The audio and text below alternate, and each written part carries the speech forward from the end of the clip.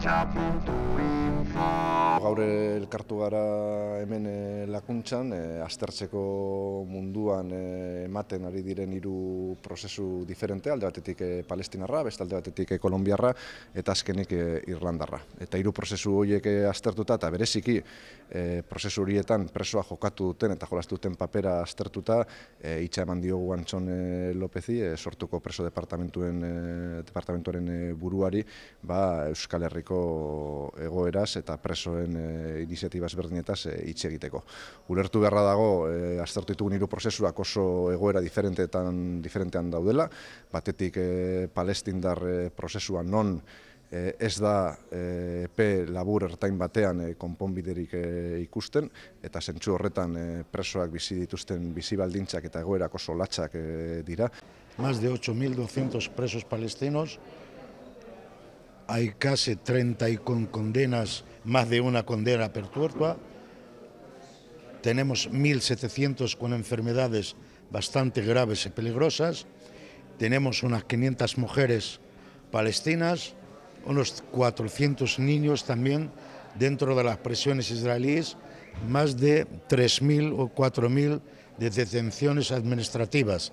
Esa ley que la está aplicando la autoridad de ocupación israelí es una herencia que le han cogido del mandato británico. Bestalde batetik eh, Kolombiarra, eh, izan dugu aukera eh, haien, eh, bueno, Kolombiar preso politikoen bosera mailaren eh, ahotik entzuteko egoeraren berri, egoera oso diferentea da.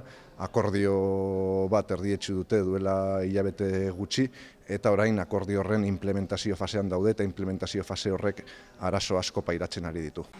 El cumplimiento en cuanto a los indultos, las amnistías y los tratamientos especiales debiesen ser el primer logro del proceso de paz, como un gesto humanitario y de grandeza.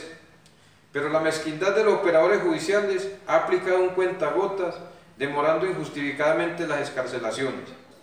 Entonces, ¿qué no esperar del cumplimiento de otros aspectos centrales del acuerdo que buscan poner fin a las causas que originan un conflicto armado de más de medio siglo?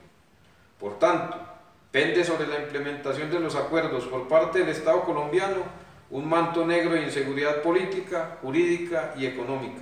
Eta azkenik, eh, Irlandar eh, kideak, eh, Michael Kulbertek, eh, koizteko burua dena, koizte da preso hoi Irlandarren eh, eh, elkartea, azaldu digu eh, Irlandako kontestuan, Irlandako konponbide prozesuan, presoek kartxela barruan, eta ben kartxelatik eh, aterata, jolastu zuten rola eta jolastu zuten papera, eta gaur egun, oraindik ere, jolasten dutena Irlandan, Irlandar bake prozesua, Irlandar eh, transizioa aurrera egin eh, zezan. Eta ondorio bezala, nik aterako nuke eh, ondorio bat, eta da, eh, ez da inolako kontestuan, ez eh, prozesutan egunik eh, egoten eh, sekula, gurean ere, borroka amai ezina da, inoiz ez dugulako agertoki perfektua erdietxiko, eta zentsu horretan gaur atera dugun, emetik atera dugun eh, lekzio nagusia da, borrokan aurrera egin beharra dagoela,